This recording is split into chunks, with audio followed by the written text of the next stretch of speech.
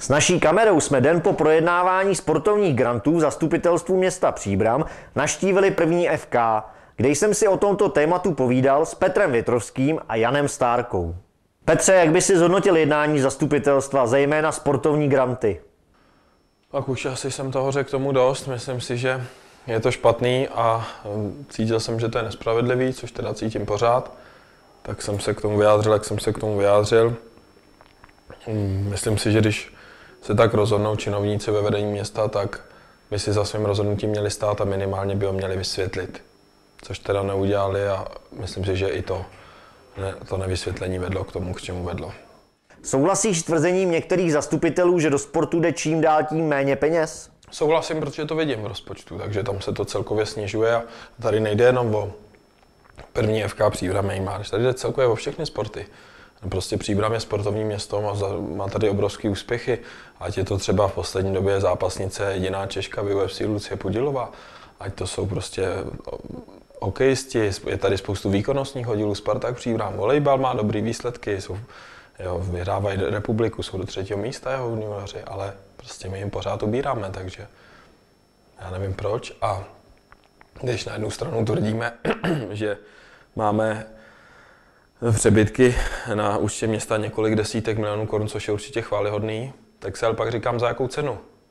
Jestli teda chápu, že město nemusí všechno utratit, ale aby tam město mělo, se chlubilo přebytkama a pak zvyšovali daně a ubíralo se sportovcům, to si myslím, že správný není, já s tím teda nesouhlasím.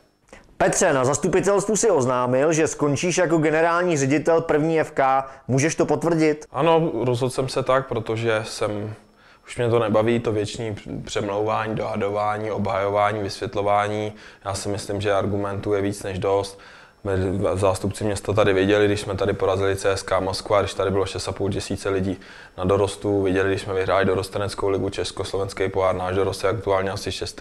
tabulce dorostenecké ligy z 18, vyhrál na Spartě Praha, která je první, ale prostě pořád jdeme dolů. A čím jiným si to mám vysvětlit, že, než že to je osobní, než tím, když mi to nikdo nevysvětlí.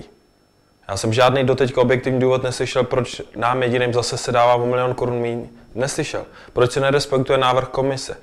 Neslyšel. Třikrát jsem se ptal, odpověď nebyla, takže eh, je pravda, že jsem byl ve střetu zájmu, který jsem vždy hlásil a ten střet tím to končí a střet zájmu to asi byl, ale možná, že mnohem víc v hlavách v některých vedení, členů vedení města, protože uh, si myslím, že kdyby tím, že volejbal třeba v klubu zastupitele nemá hokej, taky ne, tak jsou na tom ve finále líp a já nechci, aby kvůli mojí politické příslušnosti a účasti na zastupitelstvech trpěly naše mládežnické děti, takže jsem se rozhodl takhle.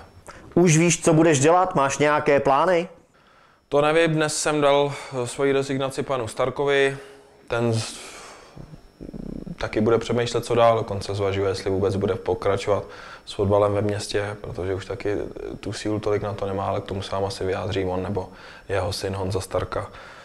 A e, co bude dál, to uvidím. Jedno v městě, že už nebude moc, nebudou moc mě trestat e, fotbal kvůli mě, nebo mě za fotbal, ale teď věřím, že teda se ty podmínky narovnají, když dochází k tomu narovnávání, že to bude třeba ještě lepší. Pane Stárka, sledoval jste jednání zastupitelstva, zejména sportovních grantů. Co na to říkáte?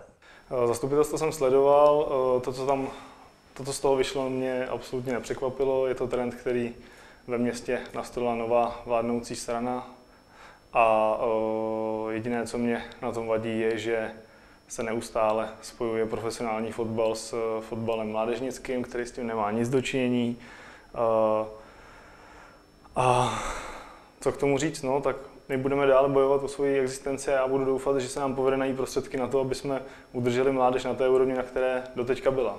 Jak snížení podpory od města ovlivní vaší fotbalovou mládež? Tak je to zásadní, vzali nám oproti, nebo vzali nám, nedali nám oproti Loňsku o milion korun, rozdíl milion korun je tam a uh, musíme to někde sehnat tak, aby ty služby, které které naše mládež eh, dostává, což se týká 19, 17, 16.